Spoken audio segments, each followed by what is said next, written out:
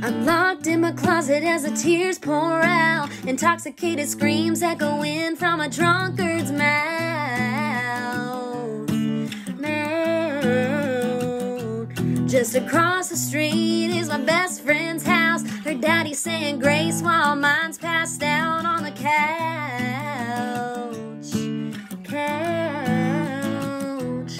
I always wish that we could trade places. Now that I'm grown, I know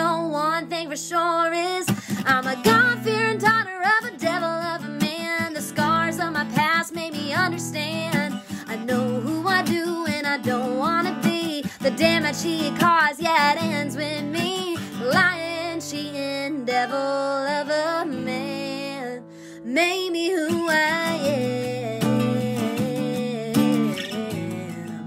It made